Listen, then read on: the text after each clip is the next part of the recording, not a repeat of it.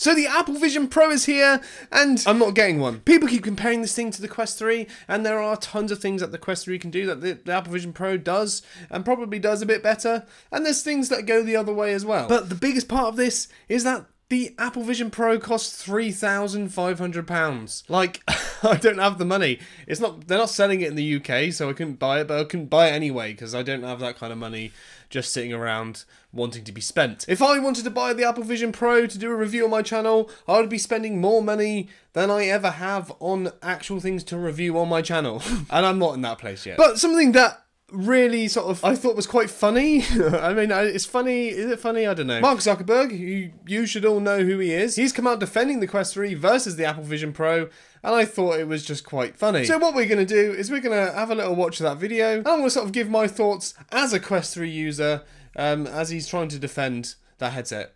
I love the Quest 3, by the way, just so you're aware. All right, guys. So I finally tried Apple's Vision Pro. And, you know, I have to say that before this, I expected that Quest would be the better value for most people since it's really good and it's like seven times less expensive. Uh, but after using it, he's not holding any bars. Yeah, the Quest 3 is very good and it is very, very cheap in comparison to the Apple Vision Pro. I don't just think that Quest is the better value. I think that Quest is the better product, period. And, you know, the different companies made different design decisions for the headsets, they have different strengths. But overall, Quest is better for the vast majority of things that people use mixed reality for. Now, well, so just to just sort of hold the bar here, he's saying that the Quest is better for the vast majority of things that people use mixed reality for. People have only really been using mixed reality in the last year or so. And the Apple Vision Pro is bringing a whole plethora of things that the Quest 3 can't do, but because the user bases are much smaller, people are doing those things less. As more people get their hands on Apple's equipment, that will become more common. And I'm sure that the Quest 3 is going to suddenly start doing some things that the Apple Vision Pro has already started doing. My friend Kenny is actually capturing this video on Quest's high resolution mixed reality pass through right now. We're, we're just here in my living room and you, know, you can see his his browser windows and you know whatever. Another big thing I get, I get loads of comments asking about the pass through of the Quest 3 because some people say it's terrible, some people say it's really good. The pass through the Quest 3 is fantastic compared to the older things available. The PlayStation VR 2, which is black and white, is terrible. The Pico 4, which has no depth perception, is terrible, but it's got good colours. Um, the Quest 2, again, is grainy, horrible mess. The Quest 3 is much better, considerably better than all of those things. However, the Quest 3's pass-through isn't perfect because it's running on cameras. And for example, if I turn off the cameras in here, even the quality of the camera that I'm using will decrease. Now suddenly, the camera quality that I've got in here in a slightly dimmer room doesn't look quite as good as it looked before. Mark Zuckerberg is sat there in a very highly lit room in order to get that sort of quality. So as much as, yes, you can do that if you record in a very brightly lit room, the pass-through will look quite good. If you're in a dimly lit room, it doesn't look very good at all. It looks very, very grainy. What else he's got running up here? Uh, so yeah, Quest 3 does high quality pass-through with big screens, uh, just like Vision Pro. But we also another thing that Vision Pro does, which um, I would really like the Quest 3 to do, and I don't see why the Quest 3 can't do this, is you can put the screens wherever you want them to be. I think you can have up to 12 windows open, and you could have one at your desk. You could have a different one over on the other side of the room, uh, and you can place them anywhere. Whereas on the Quest, you're limited to this sort of array directly in front of you of three screens. If I could have a screen there, and a screen there, and a screen over there, I'd like that. Designed it to be great for a lot of other things. Uh, moving around, playing games, um, hanging out with friends and socializing, working out, um, and more. Quest, you know, I think is just a lot more comfortable.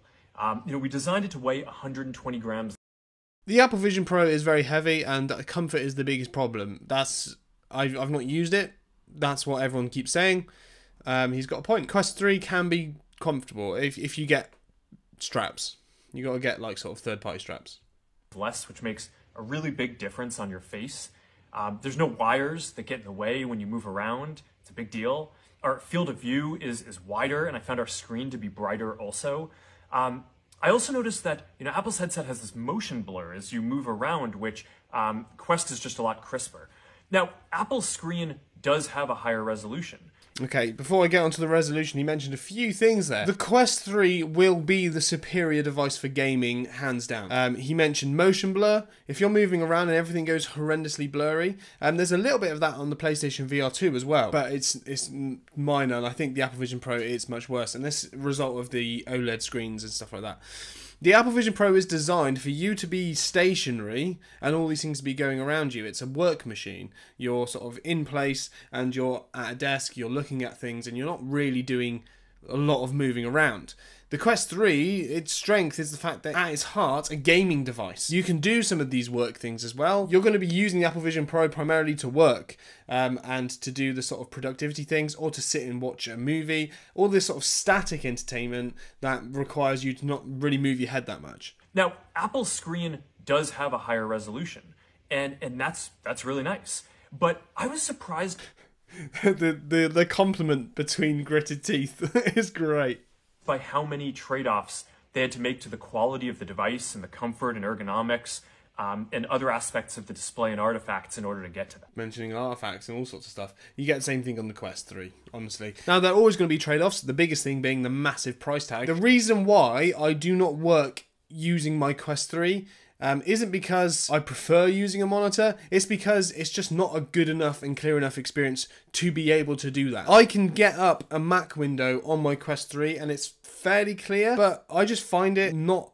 as intuitive. I don't I feel like it's not clear enough. Everything's I just much rather look at the screen in front of me. And from what people are saying about the Apple Vision Pro, it seems to be very much the other way that actually having the Apple Vision Pro on is a much better working experience than just having your monitor in front of you. Now, obviously, I have to try that, um, but the resolution difference makes a huge difference to that. When I'm playing games, the resolution is a probably actually quite minor. It's not going to be that important. But when you're reading small writing and you're doing these productivity things, the resolution is so important that it's worth trading off all of these things. Now, for input, Quest supports uh, precision controllers that are great for games. Um, both headsets support hand tracking, but you know I found ours to be a little more accurate. Apple's eye tracking is really nice. it's all these things where it's just like he's like, my dad's stronger than yours. My dad would beat your dad up. so controllers, it's a, it's a gaming device. You're comparing two different things. Um, we, we actually had those sensors back in Quest Pro. We took them out for Quest 3, and we're going to bring them back in the future. Um, it's a nice interface. It's not perfect. So, eye tracking. Eye tracking is key to the Apple Vision Pro, obviously. I love eye tracking. There's eye tracking on the PlayStation VR 2, and that's one of my favorite things about it. And it allows you to do things like foveated rendering, which the Apple Vision Pro does as well. I wish the PlayStation VR 2 made more of its eye tracking. I wish there was more games and stuff like that that use this eye tracking because I think it's so good. It allows for so much more, but there's no sort of experiences on the PlayStation VR 2 other than the games that are normally sort of ports from other platforms as well. So you've got to be able to make these games usable without eye tracking. I wish they did more with the eye tracking on PlayStation VR 2. Apple Vision Pro can do whatever it wants because they sort of manage the entire thing. You can you can go around menus on the PlayStation VR 2 in the Horizon Call of the Mountain. In Horizon Call of the Mountain, you can navigate using eye tracking, um, but you can't navigate the PlayStation Home menu using eye tracking, which I find bizarre. I'd love it to be able to do that. Hand tracking on both of them, I imagine it's probably very similar. However, Apple Vision Pro is using the hand tracking to be able to see it in any environment, so you can see your hands and it tracks them and it maps them into the real world. Whereas on Quest, they're not doing that. What it seems to me is that these are all things that probably could be done by Meta, but they're just not doing it. They're not updating it and adding these features. Whereas Apple have just said, we'll do it and we'll make the most of it and everyone will be excited about it. For everything, though, for typing or complex tasks, um, you're going to want uh, things like hands or a keyboard or controllers or eventually a neural interface for those kind of inputs. Quest's immersive content library is a lot deeper.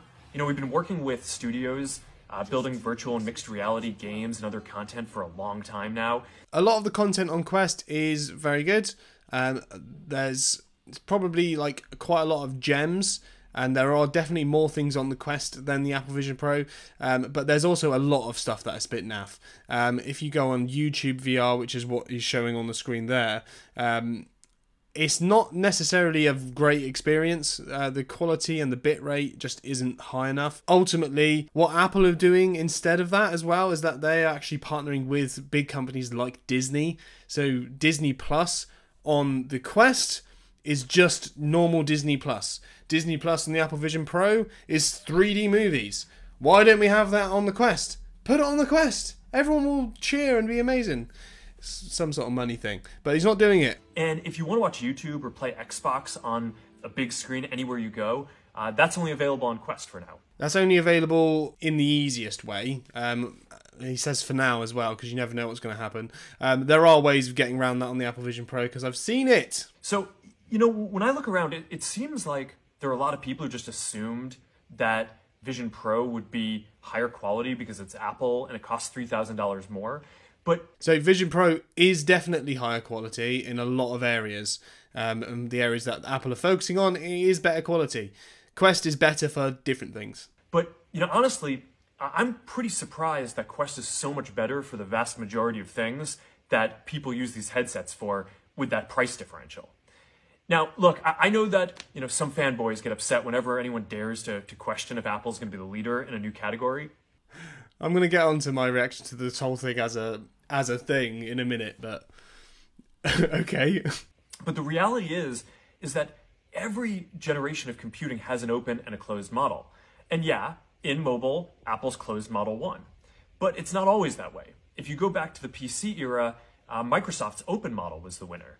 And in Meta is more open than Apple is. I'll give you give you that, but it's not a massively open platform. It's not open in the way that Windows is open. In this next generation, Meta is going to be the open model, and I really want to make sure that the open model wins out again.